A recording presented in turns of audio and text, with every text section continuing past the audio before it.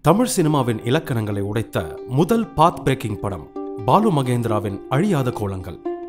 அன்று வரை சில கட்டுப்பாடுகளுடன் இயங்கி வந்த தமிழ் சினிமா இந்த படத்தின் மூலம் ஒரு சுதந்திர பறவை போல வானத்தில் பறக்க துவங்கியது. இன்னொரு பத்து நிமிஷத்துக்கு நோ கால்ஸ் ஃபோன் வந்தாலும் கொடுக்க வேணாம். அப்படி என்ன இந்த படத்துல புதுமைன்னு தானே யோசிக்கிறீங்க? இன்னைக்கு தமிழ் சினிமால வெளிப்படையா பேசக்கூடிய பல விஷயங்களுக்கு பாதை போட்டது இந்த படம் தான் கமிங் ஆஃப் ஏஜ் ஃபிலிம்னு கூட சொல்லலாம்.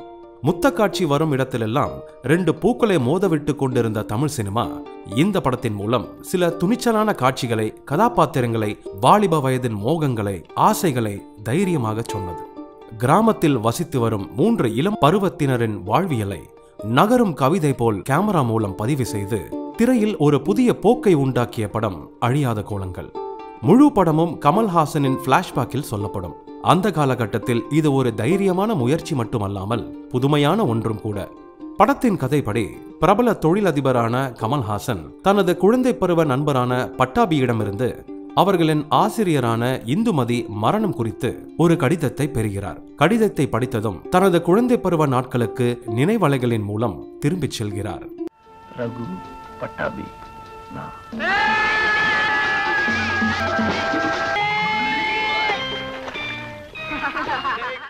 கௌரி பட்டாபி மற்றும் ரகுபதி நெருங்கிய நண்பர்கள். பட்டாபி ஒரு பெண்ணின் மீது காதல் வசப்படுகிறான்.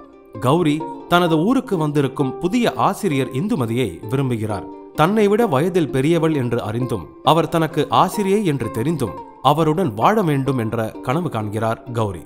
ரகுபதி தனது நண்பர்கள் மூலம் அவர்களின் காதல் கதைகளை கேட்டு உற்சாகத்தை தேடுகிறார். இந்துவின் வருங்கால கணவர் ஊருக்கு வரும்போது கௌரியின் கனவுகள் சிதைக்கப்படுகின்றன. இந்த ரெண்டும் கெட்டான் வயதில் இவர்கள் மூவர் படும் பாடு சந்தோஷங்கள் சோகங்கள் என வாழ்க்கையின் அனைத்து அங்கங்களை மாயத்திரையில் அற்புதமாய் அர்ப்பணித்திருப்பார் பாலு மகேந்திரா. மிக அழகான இயற்கை காட்சிகளில் படமாக்கப்பட்ட இந்த திரைப்படம் மனிதர்களின் உணர்ச்சிகளை தத்ரூபமாக சொல்லியிருக்கும். முதல் காதல் ஸ்பரிசம் மோகம் காமம் கோபம் மரணத்தின் வேதனை என நம்மை அழைத்துச் செல்லும் ஓர் அற்புத பயணம். ஆயிரத்தி தொள்ளாயிரத்தி எண்பதாம் ஆண்டு ஆனந்த விகடன் அதன் மதிப்பாய்வில் ஒரு உயர்தர படத்தை பார்த்ததில் திருப்தி கிடைக்கின்றது. வாலிப பருவத்தினர்களின் குழப்பங்களையும் மாற்றங்களையும் இயக்குனர் மிகச் சிறப்பாக வெளிப்படுத்தியுள்ளார் என்று கூறியது.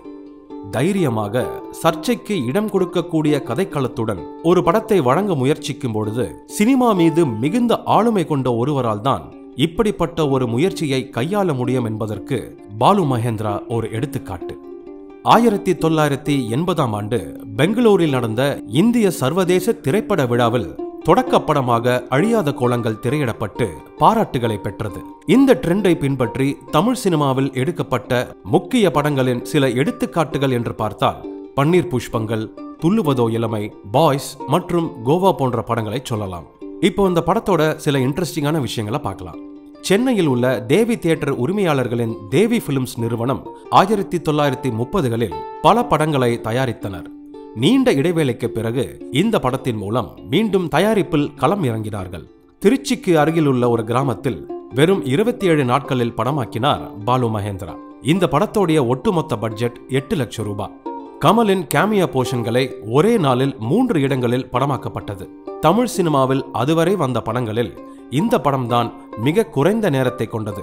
அதாவது படத்தின் மொத்த ஓட்ட நேரம் நூற்றி நாற்பது நிமிடங்கள் தான் ஹிந்தி மலையாளம் பெங்காலி உட்பட்ட பல சிறந்த படங்களின் புகழ்பெற்று விளங்கிய இசையமைப்பாளர் சலீல் சௌத்ரி தான் இந்த படத்தின் இசையமைப்பாளர். இது அவருக்கு முதல் தமிழ் படம் என்பதும் குறிப்பிடத்தக்கது.